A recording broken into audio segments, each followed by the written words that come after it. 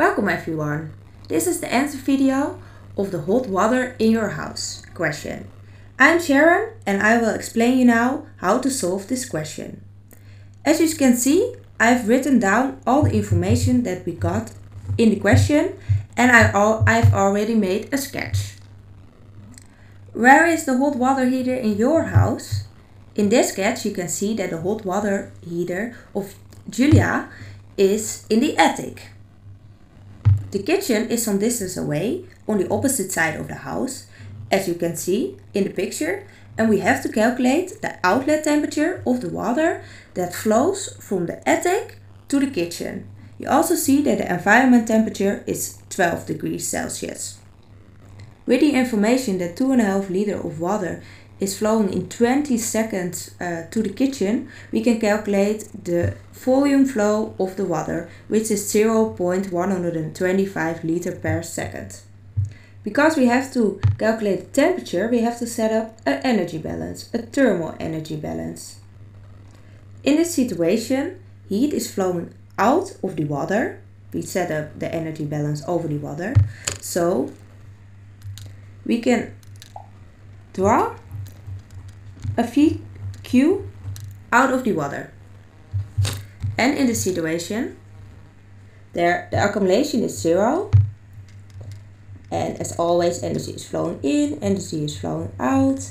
And there is transfer out of the water. So this has to be a minus sign. And this, trans this transfer is VQ.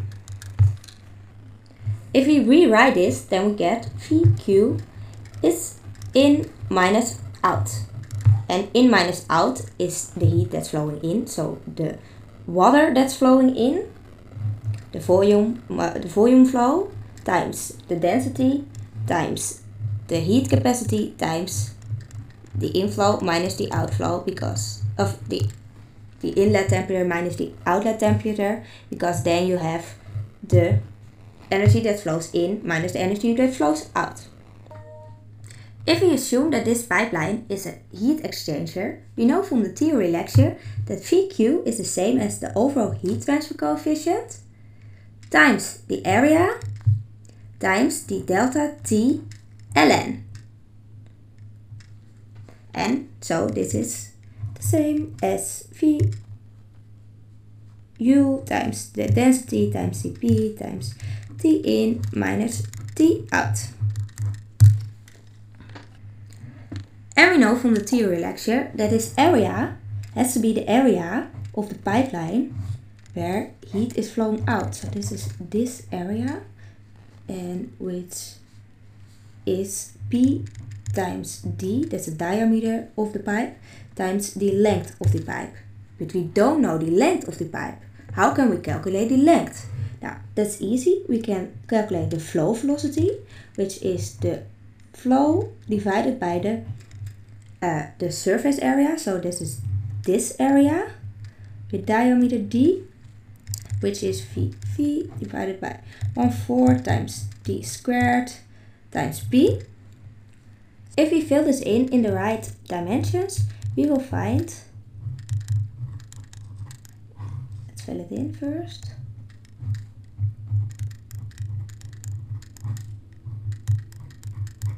Flow velocity of 1.59 meter per second.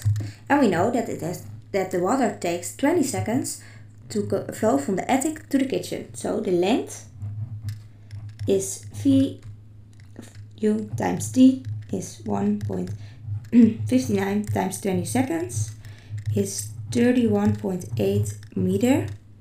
So this is the length of the pipeline. The other unknown in this equation is the delta T ln.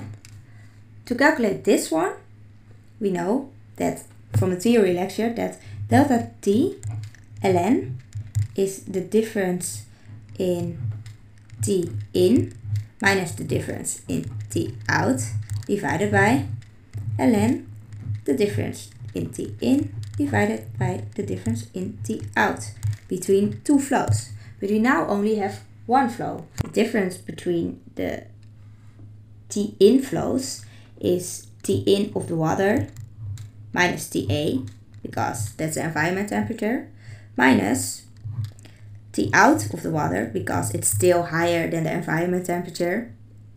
If you if you want hot water in the kitchen, it would be very strange if it was lower if it is lower than 12 degrees Celsius, minus TA. So you immediately see that TA is unnecessary here. But below, you have to use TA because we have a ln. So we got T in of the water minus TA divided by T out of the water minus TA. If we substitute delta T ln in the blue formula, we get U times E times T in minus T out divided by ln T in minus TA divided by T out minus TA is equal to the volume flow of the water times the density of the water times the heat capacity of the water times the temperature difference of the water.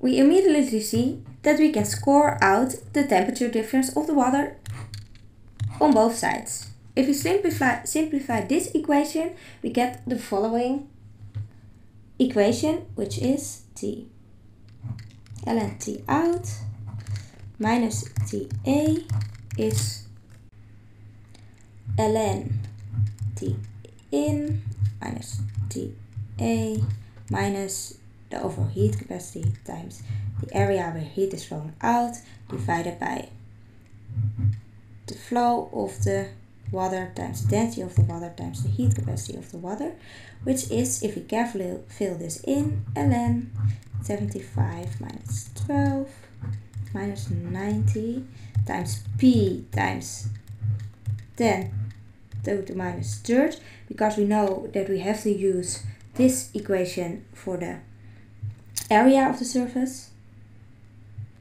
And times 31.8 which is the length which we already calculated divided by the flow which is 1.25 times minus 3 times 1000 it's the uh, density of the water times 4.10 minus 3 that is the heat capacity and if we do this carefully we will find that this is 4.314 so the outlet temperature is 12 plus the exponent exponent of 44 is 65 degrees Celsius, which seems to be realistic, so we're done now.